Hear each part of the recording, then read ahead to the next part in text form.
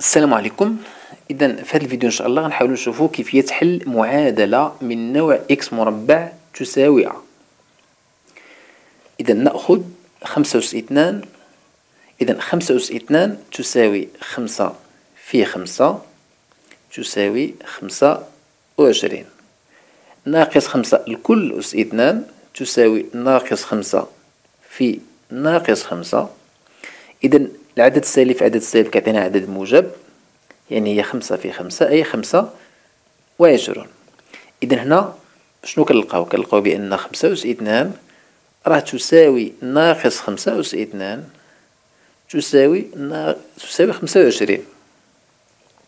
أي أن مربع أي عدد سواء كان العدد موجب أو سالب فهو دائما موجب. يعني بشكل عام إكس أس اثنان هو عدد موجب. كيف ما بغى يكون إكس سواء كان عدد موجب أو كان عدد سالب. شنو كيعني هذا؟ كيعني بأن إلا كان عندنا مثلا إكس مربع تساوي خمسة وعشرين أي إكس مربع تساوي خمسة أس اثنان. يعني إكس عندها جوج ديال الاحتمالات. يعني إكس ممكن تساوي خمسة أو إكس تساوي ناقص خمسة. إذا ناقص خمسة أس إثنان راه هي خمسة وعشرين وخمسة أس إثنان راه خمسة وعشرين. إذا في هذه الحالة فالمعادلة تقبل حلين. إذا هذه القاعدة نقدر نعممها. إذا بشكل العام إذا كان عندنا إكس مربع تساوي أ و أ بطبيعة الحال عدد موجب فإكس تساوي جذر أ أو إكس تساوي ناقص جذر أ ناخذ المثال اللي اشتغلنا عليه إذا إكس مربع تساوي خمسة وعشرين يعني ماذا؟ يعني أن إكس مادام خمسة وعشرين هو عدد موجب donc يعني أن إكس تساوي جذر خمسة وعشرين أو إكس تساوي ناقص جذر خمسة وعشرين إذا إكس جذر خمسة وعشرين هو خمسة أو إكس تساوي ناقص خمسة. إذا هي النتيجة اللي لقينا. يعني إكس يمكن لها تاخد عددين يعني تساوي لنا إما خمسة أو ناقص خمسة. هنا بطبيعة الحال خصني إن ناخدو ناقص خمسة أس اثنان بهذا الشكل هذا. إذا هنا ناقص خمسة أس اثنان هي ناقص خمسة في خمسة. إذا هي ناقص خمسة وعشرين. وبالتالي ناقص خمسة أس إثنان هو عدد سالب. إذا هنا خصني نميز ما بين ناقص خمسة أس إثنان وما بين ناقص خمسة لكل أس إثنان. يعني إلا لاحظنا مزيان فناقص خمسة لكل أس إثنان. ناقص خمسة هو الأساس وإثنان هو الأس. في حين ناقص خمسة أس إثنان الأساس ديالو هو العدد خمسة إذن هذا هو الأساس. وهذا هو الأس. وبالتالي هاد ناقص خمسة لكل أس اثنان راه هي ناقص خمسة أس اثنان. إلا بغينا نبسطو كنحيدو الأقواس ونخليها ناقص خمسة أس اثنان. شنو كيعني هذا؟ كيعني بأن ناقص إكس أس اثنان راه ماشي هي إكس أس اثنان. أو ماشي هي ناقص إكس لكل أس اثنان. إذا هناك فرق. هاد ناقص إكس لكل أس اثنان راه هي إكس أس اثنان. هو عدد موجب. في حين هذا عدد سالب لأن ناقص إكس أس اثنان هو ناقص إكس أس اثنان. إذا هذا عدد سالب الآن لنحل المعادلة التالية إذا إكس مربع تساوي أربعة. إذا بما أن أربعة عدد موجب فإكس لها حلان. إما جذر أربعة أو إكس تساوي ناقص جذر أربعة. إذا إكس تساوي اثنان أو إكس تساوي ناقص اثنان لأن جذر أربعة هو اثنان. إذا حل المعادلة هما اثنان وناقص اثنان. إذا المعادلة لها حلين هما اثنان وناقص اثنان. المعادلة الثانية إكس مربع تساوي ثلاثة إذا ثلاثة عدد موجب. إذا إكس تساوي جذر ثلاثة أو إكس تساوي ناقص جذر ثلاثة. إذا إكس إما تساوي جذر ثلاثة أو ناقص جذر ثلاثة. إذا حل المعادلة هما جذر ثلاثة و ناقص جذر ثلاثة. هنا كنديرو هو ماشي أو.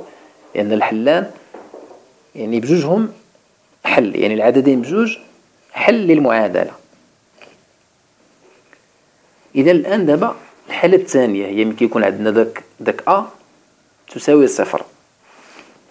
إذا إكس مربع تساوي صفر. في هذه الحالة إذا طبقنا القاعدة اللي جبنا إذا إكس مربع تساوي صفر يعني أن إكس تساوي جذر صفر أو إكس تساوي ناقص جذر صفر. وجذر صفر وناقص جذر صفر بحال بحال لأن هذه صفر والأخرى صفر. إذا إكس مربع تساوي صفر تكافئ أن إكس تساوي صفر. إذا المعادلة لها حل واحد. إذا حل هذه المعادلة هو صفر. المعادلة الثانية إكس مربع ناقص خمسة تساوي ناقص خمسة.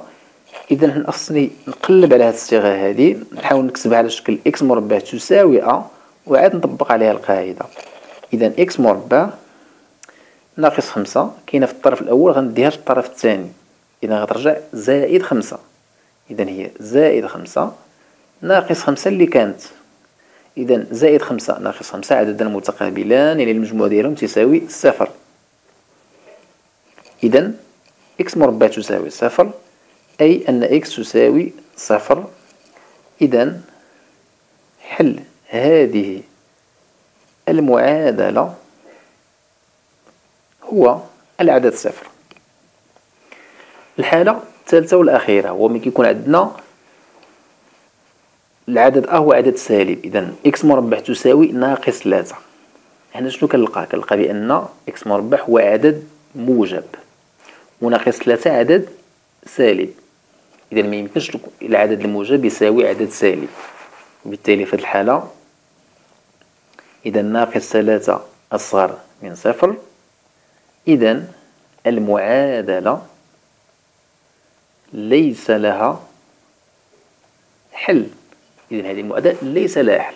ما يمكنش نلقى واحد العدد اللي المربع ديالو كيساوي لنا ناقص ثلاثة. الحل الثانية إكس مربع زائد سبعة تساوي ثلاثة. دائما كنحاول نلقى صيغة بحال هذه يعني x مربع تساوي أ إذا x مربع عدد سبعة زائد سبعة نديه للطرف الثاني غيرجع ناقص سبعة. إذا ثلاثة ناقص سبعة هي ناقص أربعة. إذا x مربع تساوي ناقص أربعة. إذا ناقص أربعة عدد سالب و x مربع عدد موجب. أي إذا ناقص أربعة أصغر من صفر. إذا المعادلة ليس لها حل. إذا بشكل عام يمكن نلخصو الحالات الممكنة. إذا إكس مربع تساوي أ. عندنا ثلاثة ديال الحالات.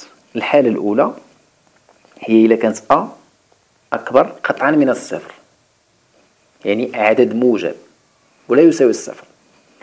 إذا إذا كان أ أكبر قطعا من الصفر فإن المعادلة ليس لها حلين. شنو هما؟ هما x تساوي جذر أ أو x تساوي ناقص جذر أ. الحالة الثانية إذا كان أ تساوي صفر فإن في الحالة كيكون المعادلة لها حل واحد حل وحيد. إذا هو إكس تساوي صفر. الحالة الأخيرة إذا كان أ أصغر من صفر فإن المعادلة ليس لها حل